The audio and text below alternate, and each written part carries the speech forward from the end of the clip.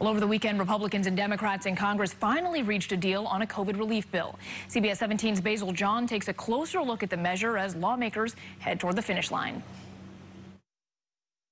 Well, we've been working for quite some time to get to this point. Virginia Democratic Congresswoman Abigail Spanberger says it's about time Congress came to terms on a COVID bill. We are ensuring that relief is available to the American people. The legislation includes $600 direct stimulus checks, $300 a week in unemployment benefits, billions for the Paycheck Protection Program, and more. We have finally joined together, realizing that yes, a deal is better than no deal.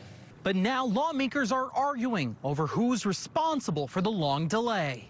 West Virginia Republican Senator Shelley Moore Capito says Republicans tried to get ahead of this. While I'm glad an agreement has been reached, we certainly should have done this earlier and could have done this earlier. It's actually really deeply disappointing. But Democrats blame Republicans and point to the HEROES Act, which passed the House in May. It is terrible that it's taken us this long to actually get across the finish line with a negotiated deal. And the discussions around COVID relief do not stop with this bill. We need to begin the conversations tomorrow about what's happening in the economy, what's happening in the lives of the American people and small business owners. The Biden administration promises more COVID relief will come in the new year.